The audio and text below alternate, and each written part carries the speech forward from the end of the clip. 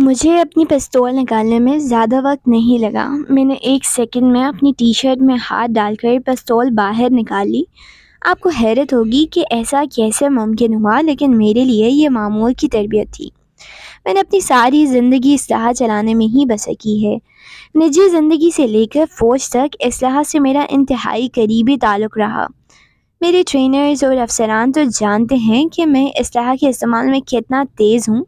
लेकिन अगर इस बात का इल्म इन नौजवानों को भी होता जो मजंग चौक पर मुझ पर हमला आर हुए थे तो शायद वो कभी भी यूँ मुझसे टकराने की गलती ना करते। इसी सूरत में इस शाम इन्हें मौका वारदात से हटने के लिए कई बहाने मिल सकते थे।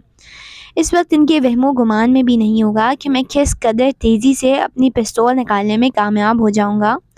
मेरे पास मुकम्मल ऑटोमेटिक नई पिस्तौल थी जैसे ही मेरा हाथ कार के स्टेयरिंग से ऊपर हुआ मैंने बर्क रफ्तारी से इन पर फायर कर दिया।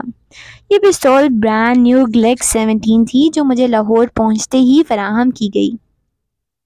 इस वक्त मेरे पास दीगर ज़रूरी अशिया भी मौजूद थी जिनमें जीपीएस, रेडियो कैमरा फ़ोन वगैरह शामिल थे। इस रोज़ मजंग चौक पर मैंने दो या तीन सेकंड में दस गोलियाँ चलाईं और खेल ख़त्म हो गया। मेरी गोलियाँ गाड़ी की विंड स्क्रीन तोड़ती हुई अपनी टारगेट की जानब बढ़ गईं, लेकिन इसके बावजूद सारी गोलियाँ अपने हदफ पर लगीं। मेरा निशाना बहुत अच्छा था, इस वक्त मजांग चौक पर काफ़ी रश था, लेकिन फिर भी कोई गैर मुतल शख्स ज़ख्मी ना हुआ। अगर निशाना थोड़ा सा भी चूक जाता तो काफ़ी लोगों की जान जा सकती थी। इस रोज़ हलाक होने वालों की पोस्टमार्टम रिपोर्ट के मुताबिक मोटरसाइकिल पर पीछे बैठे शख्स को पाँच गोलियाँ लगी थीं, जिनमें से एक दाई टांग पर और एक बाई टांग पर, दो गोलियाँ सीने पर और एक सर के पीछे लगी थी। वो शख्स मौका पर ही हलाक हो गया था, जबकि फैज़ान हैदर को पाँच गोलियाँ लगी। वो इसकी पुश्त पे लगी थी और वो शदीद ज़ख्मी हो गया था। इनकी मोटरसाइकिल वहीं गाड़ियों और मोटरसाइकिलों के दरमियान सड़क पर गिर गई थी। फैज़ान हैदर ने वहाँ से भागने की कोशिश की, लेकिन शदीद ज़ख्मी होने की वजह से ज़्यादा दूर न जा सका।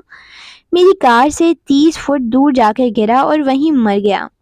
ये दुरुस्त है कि किसी शख्स की जान लेना काबिल तारीफ़ अमल नहीं है, लेकिन जब कोई शख्स मुझ पर असलाह तान लेता है तो इस वक्त सबसे अहम अपनी जान बचाना होता है और इस फौरी ख़तरे को ख़त्म करना बहुत ज़रूरी हो जाता है।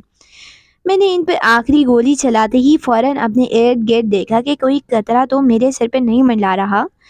गोलियाँ चलाने की वजह से मेरी गाड़ी की विंड स्क्रीन बुरी तरह मुतासर हो रही थी और मुझे वाजह तौर पर नज़र नहीं आ रहा था, लेकिन मैं गाड़ी से बाहर निकल के एयर गेयर्स का जायज़ा लेने लगा। इस वक्त काफ़ी लोग वहाँ पर जमा हो रहे थे, लेकिन अब मैं ख़तरे से बाहर था।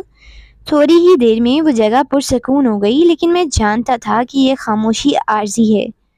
वहाँ से अमरीकी काउंसलर तीन मील की दूरी पर था।